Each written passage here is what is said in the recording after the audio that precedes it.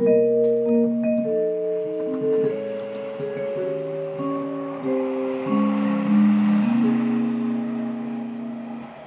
い。251 25ですね。25のベース音に対して7度と3度コードのそしてセブンスに行った時に3度と7度になる。動きの連続、えー、あれですね。サークルオフィスでの連続。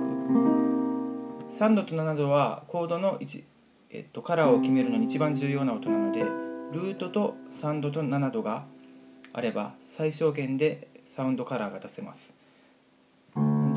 左手はルートの音、えー、と7度3度ですね。37でもいいんですけどこっちは73ですね。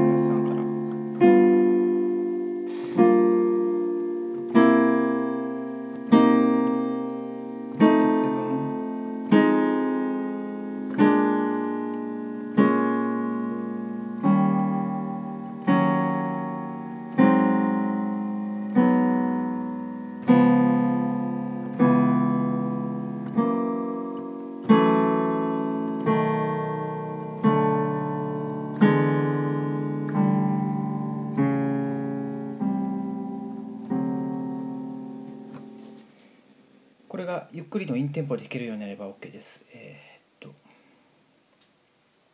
そうですね A フラットマイナーのところはそのフラットなんで気をつけてください。以上です。ありがとうございました。